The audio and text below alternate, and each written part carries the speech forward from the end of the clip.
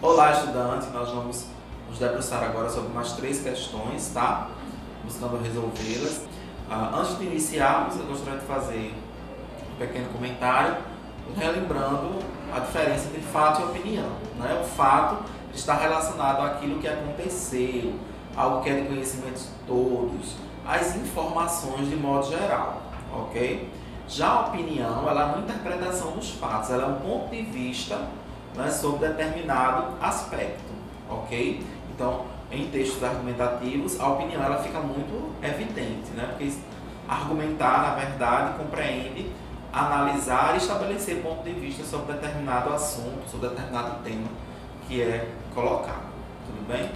Na questão 1, nós temos um texto que diz o seguinte: a importância da leitura como identidade social. Um dos nossos objetivos é incentivar a leitura de textos escritos, não apenas daqueles legitimados pelos acadêmicos como boa leitura, mas os escolhidos livremente. Pela análise dos números da última Bienal do Livro realizada em São Paulo, constata-se que ler não é problema, pois, segundo o Correio Brasiliense de 25 de agosto de 2010, cerca de 740 mil pessoas visitaram os estandes que apresentaram mais de 2 milhões e 200 mil títulos. Mas perguntamos-nos, os livros expostos e os leitores que lá compareceram se encaixam em qual tipo de leitor? Podemos afirmar que todos os livros foram escritos para um leitor ideal, reflexivo, que dialogará com os textos? Muitos livros vendidos na Bienal têm como foco a primeira e a segunda visão da leitura. Seus autores enxergam o texto como um fim em si mesmo, apresentando ideias prontas ou primando pelo seu trabalho como um objeto de arte, em que o domínio da língua é a base para a leitura. Assim, cabe-nos refletir inicialmente sobre como transformar o leitor comum em leitor ideal, um cidadão pleno em relação à sua identidade.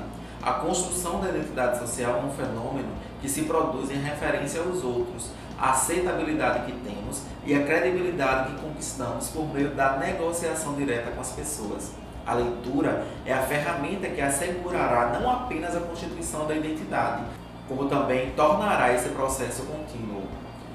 Para tornar isso factível, podemos, como educadores, adotar estratégias de incentivo, apoiando-nos em textos como as tirinhas e as histórias em quadrinhos, até chegar a leituras mais complexas, como um romance de Saramago, Machado de Assis ou textos científicos. Construir em sala de aula relações intertextuais entre gêneros e autores também é uma estratégia válida. A família também tem um papel importante no incentivo à leitura, mas como incentivar filhos a ler se os pais não são leitores? Cabe à família não apenas tornar a leitura acessível, mas pensar no ato de ler como um processo. Discutimos à mesa questões políticas, a trama da novela. Por que não trazermos para nosso cotidiano discussões sobre os livros que lemos? Nesse texto, a ideia defendida pelo autor está expressa no trecho. A leitura é a ferramenta que assegurará a constituição da identidade. Muitos livros vendidos na Bienal têm como foco a primeira e a segunda visão da leitura. Assim, cabe-nos refletir inicialmente sobre como transformar um leitor comum em leitor ideal. Um dos nossos objetivos é incentivar a leitura de textos escritos. Cabe à família não apenas tornar a leitura acessível, mas pensar no ato de ler como um processo. Bem, se nós analisarmos o texto, né, a, as autoras elas vão trazendo algumas, alguns questionamentos, né, algumas inquietações sobre a importância da leitura. Então, um dos objetivos delas é incentivar a leitura de textos escritos. Isso aí não é uma opinião, né? isso aí é uma iniciativa né? que elas estão propondo. Na verdade, estão explicitando aí um dos objetivos. Né? Estão explicitando aí, na verdade, um dos objetivos delas. Nós temos aí muitos livros vendidos na Bienal, tem como foco a primeira e a segunda visão da leitura. Quando se coloca que um dos focos né? Muitos livros vendidos na Bienal tem como foco a primeira e a segunda visão da leitura. A gente não tem aí um ponto de vista sobre o que está sendo tratado. A gente tem uma informação né, com base em algo, né, em um evento que foi realizado aí e no qual e do qual surgiram alguns dados, tá? Ah, quando as autoras dizem também Assim, cabe-nos refletir inicialmente sobre como transformar um leitor comum em leitor ideal, mas está fazendo uma proposição. Né? nesse momento, nesse trecho, está fazendo uma proposição nesse trecho, convidando o leitor a refletir sobre algo e não explicitando um ponto de vista. E, quando ela disse, cabe à família não apenas tornar a leitura acessível, mas pensar no ato de ler como processo, porque nesse caso aí, como se diz, cabe à família, nós temos uma proposta de intervenção para um problema né, que está sendo colocado. E, na verdade, a ideia defendida pelas autoras fica clara no trecho em que, ela, em que é dito a leitura é a ferramenta que assegurará a constituição da identidade, com base em vários levantamentos que foram feitos, né, se vocês observarem. É um texto que é colocado por pessoas, por teóricas, né, e é, elas, com base nas reflexões que vão sendo trazidas no texto, elas dizem que a leitura é a ferramenta que assegurará a constituição da identidade. Nesse texto aí fica clara a ideia definida por elas, que é de que a constituição da identidade vai se dar por meio da leitura, tá certo? Vamos agora para a questão 2. Questão 2 nós temos um texto que diz o seguinte: Horóscopo, o canal certo, data estelar, Marte ingressa no signo de Touro, Lua é quarto crescente no signo de Virgem.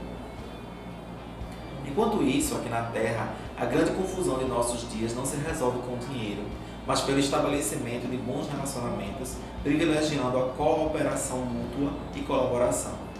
Há mais vida à disposição, vida mais abundante, mas acontece que esta só se manifesta de forma harmoniosa, circulando através de grupos de pessoas e não individualmente. Quanto mais as pessoas se isolam e tentam distinguir-se umas das outras, separando-se e distanciando-se, mais destrutiva seria para elas essa vida mais abundante, mais confusas se tornam suas experiências também. O estabelecimento de laços de cooperação fornece o um canal adequado para essa vida mais abundante, expressando-se como bem-estar, felicidade e prosperidade. Então, a ideia defendida nesse texto é que os laços de cooperação dão mais harmonia à vida as pessoas não devem isolar-se. O dinheiro não resolve todos os problemas. O isolamento torna as experiências confusas ou a felicidade e a prosperidade são consequências. Nós voltamos para analisar o texto. Nós vamos observar que eh, vamos destacar aí dois trechos, tá? Há mais vida à disposição, vida mais abundante, mas acontece que esta só se manifesta de forma harmoniosa, circulando através de grupos de pessoas e não individualmente. Fica claro nesse trecho que não se defende a ideia do isolamento, ok? No final do texto, nós temos, no último período, é, uma informação que diz o seguinte: o estabelecimento de laços de cooperação fornece o canal adequado para essa vida mais abundante. No último período do texto, nós temos aí a ideia de que o estabelecimento de laços de cooperação fornece o canal adequado para essa vida mais abundante que é tratada aí no texto. Então, a ideia definida desse texto é que os laços de cooperação dão mais harmonia à vida. Ou seja, os laços de cooperação eles vão fornecer o canal adequado para ter uma vida mais abundante e, consequentemente, uma vida mais harmoniosa, né? o que é dito anteriormente. ok? Isso só vai ser possível circulando através de grupos de pessoas e não individualmente.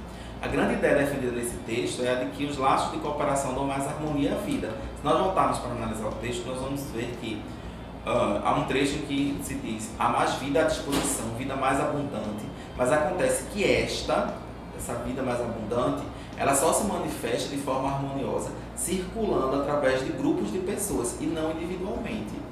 E lá no final isso é confirmado, lá no último período do texto, com a ideia de que o estabelecimento de laços de cooperação fornece o canal adequado para essa vida mais abundante. Então, isso é a grande ideia definida no texto. Né? As pessoas não devem isolar-se, isso é apenas um dos aspectos que é trazido aí em, é, é, para auxiliar essa grande ideia definida no texto. O dinheiro não resolve todos os problemas, né? é apenas um dos aspectos também trazido no texto para colaborar aí com essa ideia, com a ideia que é definida.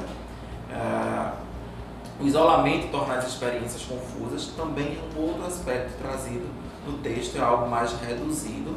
Né? Essa vida mais abundante, ou seja, quanto mais as pessoas se isolam, tentam se distinguir uma das outras, mais confusas se tornam suas experiências, certo?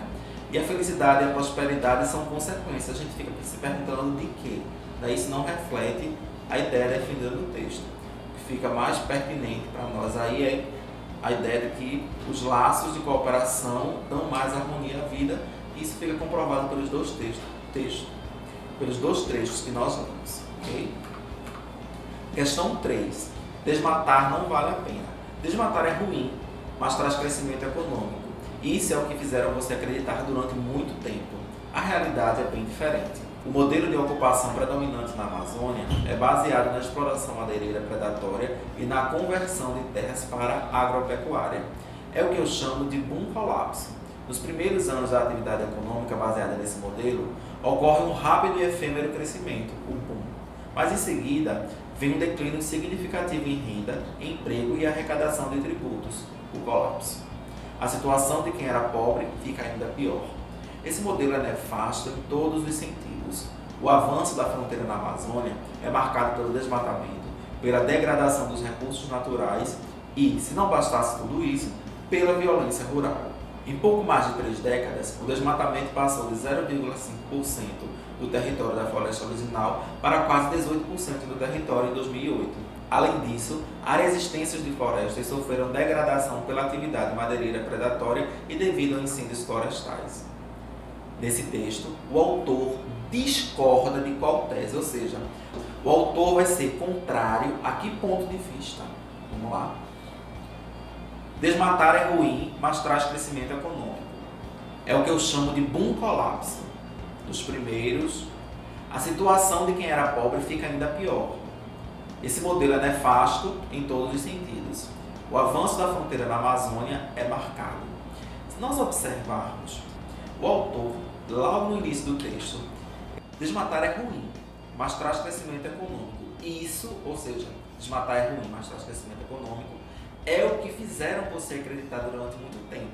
A realidade é bem diferente. Ou seja, o autor ele está discordando, ele está sendo contrário a essa ideia de que desmatar é ruim, mas traz crescimento econômico. E ele vai comprovando isso é, durante todo o texto. Tanto é que ele chama né, um movimento aí de boom colapso. Né? E tudo que é dito nas outras afirmativas é o que eu chamo de boom colapso, a situação de que era pobre fica ainda pior. Esse modelo é nefasto em todos os sentidos, o avanço da fronteira na Amazônia é marcado, tudo vai colaborar para tudo vai colaborar para essa discordância que ele faz do, do início do texto, né, da tese que é colocada de que o desmatamento traz crescimento econômico. Ok? Então é o que eu chamo de boom colapso. Isso aí é, o, é o, o que ele, quando ele se refere né, a essa questão de modelo de ocupação predominante na Amazônia. Ele não discorda disso, ele está concordando, ele está colocando isso como um fato. A situação de quem era pobre fica ainda pior. Né, ele está concordando com a ideia que esse boom colapso deixa a situação terrível né, para quem é, é, era pobre. Esse modelo, o modelo que é citado no, no primeiro parágrafo, é nefasto, é ruim em todos os sentidos, não é? E o avanço na fronteira da Amazônia é marcado por, ele traz aí é, é, informação para nós, tá certo? Então, tudo isso vai colaborar para que ele, com aquilo que ele coloca no início do texto, porque aí ele vai discordar da tese de que o desmatamento traz crescimento econômico, ok?